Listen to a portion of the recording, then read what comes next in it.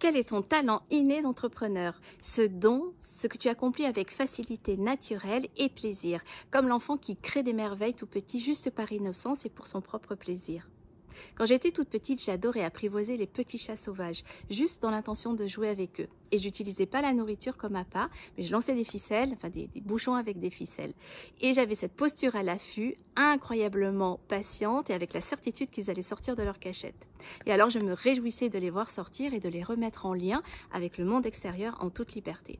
Aujourd'hui, je continue d'adorer détecter chez mes clients la part sauvage, secrète, cachée, souterraine, qui contient souvent leur puissance et leur liberté d'expression.